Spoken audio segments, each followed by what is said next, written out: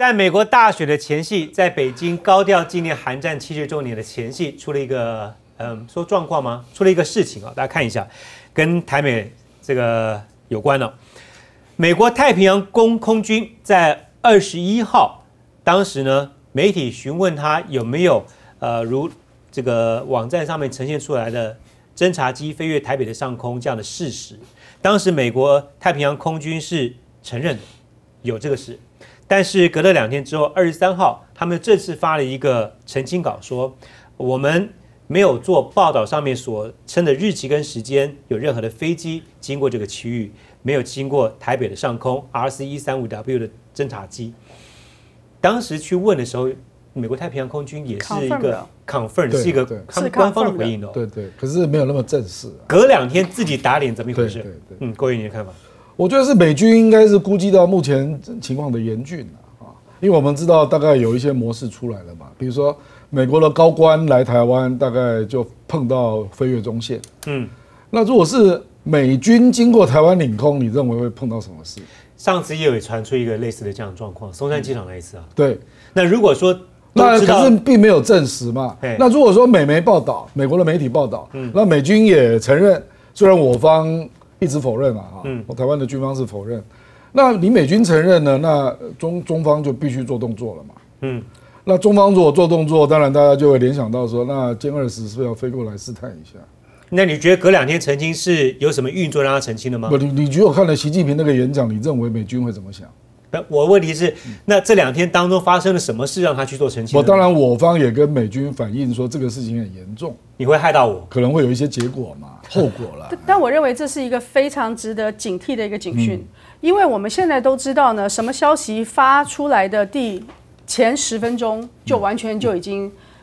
如野火燎原了，是网络上根本封不住的。网络上封不住了，而且你两天之后的修改呢，就是大街打人，小巷道歉，是没有人会去听到你后面的修改。所以我觉得我们尤其是在亚太地区，要特别特别小心，就是万一这成为一个美美军的制式操作。他在第一时间把火点了，然后你事情发生了以后，他又说：“哎，没有这个事情，不是我的事。”就撤回来。操作包括了一，他有飞机；二，他先承认。对，因为他 confirm 是一个非常不寻常的事。对，他在官方的管道上。承认虽然是没有剧名啊，后面是有剧名，可是他还是在官方的管道上去承认。那我们可以试想说，将来万一我们都担心的叫擦枪走火，嗯，万一有一件事情，他就说，哎，发生了这个事情，然后等到全世界已经舆论大哗，网军已经在全世界都有很多很多的反应，都已经出现了以后，北京开始反应了，两边开始有战争了，他说，哎，对不起，我错了，到时候谁来还给交？任任何人公道呢？嗯，所以我认为这种的操作方式真的是要非常非常的谨慎，而且要大大的去观察它。所以第一时间他 confirm 就是一个操作。倩姐，这个我是很同意的，因为这个构成了中国可以出手的根据。对，嗯，那那你这个当然就很麻烦嘛，结果出手之后隔天才说没这件事，那可是我已经受伤了，就变成这样。所以等于是台湾的高层已经认清这是一个非常危险的事。对。你美国太平洋空军承认这个讯息，嗯，就等于是害到了我，所以你不管怎么样，你要让我不要置身于这个呃擦枪走火的边缘的话，你就必须要做澄清。所以你看，我方政府还是而且而且两天像是一世纪那么长啊！我我要再讲一遍，在网络时代跟网络的速度里面，两天就像一世纪那么长。对，可是重点是在于要更快。没有重点是在于我们没有允许，他就不能在我们这边登陆。那是我们允许他才有办法登陆。嗯，那换言之，也就是说，美国提出要求，我们这边接受。那应该这样讲，就是一开始你登陆，或者你在这边让我飞越上空，是你我本来之间的默契。是的。但是铺路之后，你还去承认这件事情，你就真的害到我。没有，但是问题就是说，这个没有秘密的。是了。你的你的飞航，你的飞机，你要穿越台湾，或者是你要在台湾落地，然后再起飞。这个是不会有秘密，这个卫星都有记录。这个不管是卫星、雷达，全部都在记录，而且都在追踪。啊，那么以美国现在的侦察机，你要起飞，中国大陆就跟跟着你看。然后你经过以后，我我没讲，你没讲，大家都没讲。那我们大家都不惹事的时候，就当做它没发生。可是当你讲了的时候，那我就没办法当做它没发生了。嗯嗯。那这样的一个情形下的话。那大家也都知道，如果美国的飞机要穿越台湾，如果没有经过我方的战管这中心的同意，因为它是军机耶，它不是民航机，它不是由飞航情报区，它它是由我们的防空识别区，由我们的战管中心来去指挥，就是说我同不同意你进来？那我今天同意你进来，我同意你离开。那请问一下，在这样的一个情形下的话，那解放军如果歼二十进来呢？歼二十进台湾的上空，你你能怎么样？嗯，所以我觉得这个是一个，本来是你不说我不说，大家没事儿。但是你既然挑着说的话呢，那就没有给我台阶下的机会。这个斐济的事件不是有一点点像吗？对，本来双方都没有想到真的高调把它铺出来，但就是有人会把它放出去。然后做操作，对，你看放出去之后，庞培有隔两天不就开始骂了吗？对，对不对？这就是一个操作。我问一下赖老师，帮我们进一步解读拜登投书，说要深化跟台湾的关系啊。那因为他过去也曾经反对过台湾安全加强法，一般解读说，尤其我看到郭源给我传一篇文章，看蔡同荣生前的时候也想要去跟他做接触，对他并不是一个对台湾相对友善的一个人，因为他有些周边的幕僚吧哈。那你怎么看？他要深化跟台湾的关系，是选举这段时间的一个语言吗？那如果真的是他当家，白宫变天的话，虽然虽然蔡政府不愿意承认，但台湾比较偏向押宝川普，这个是知情人士知道的。那你怎么评估这样的风险？美国不管是民主党的共和党，其实他们所谓的对台湾友善或者亲善，其实都是为了对对付中国大陆了。只是说彼此之间的拿捏的问题不一样，这个筹码打的问题不一样而已。换言之，也就是说，他们并不是真的对台湾友善，是因为这样子对符合美国人的利益。嗯，那也就是在过去来讲，这两两千零五年的时候，美国人打台湾牌，那么让美国人获得非常巨大的利益。也就是说，在两千零五年的时候的那时候是呃，中国大陆是在这个胡锦涛时代。那中国大陆的力量不够大的时候，他们当时在打台湾牌的时候，出现了什么样的一个情况？那也就是说，使中使中国大陆在联合国的安理会，嗯，他们不能够投下否决票，他们顶多只能投弃权票，弃权，可是他不能够用一票否决，这个就牵制了中国大陆在联合国安理会的作用。第二个呢，就是美国向呃中国大陆向美国大量购买这个波音。所以这个是非常有名的一个案例。换言之，也就是说，中国大陆被牵制住了。那因为打台台湾牌有效，也就是那时候是在陈水扁时代。嗯。哦，那你要主张一个中国原则，那我美国帮你处理一个中国原则，然后你中国让我什么？那就是联合国的作用以及在经济方面的利益。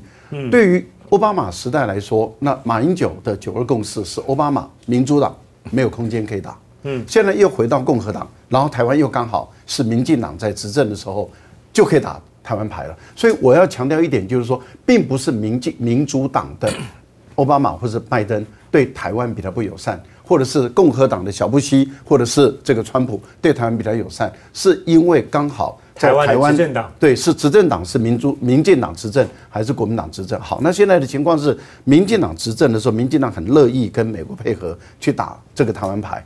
重点是在于，今天的中国已经不是两千零五年的中国了。